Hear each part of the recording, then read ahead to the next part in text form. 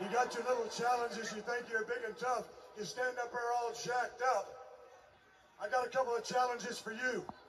I challenge you to get you a decent haircut.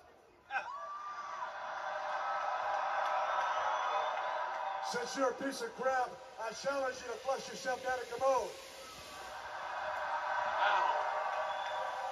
As far as you or anybody else is concerned, is sign a damn piece of paper, and I'll beat the hell out of anybody right here in the middle of the ring. So you're damn right you got your shot.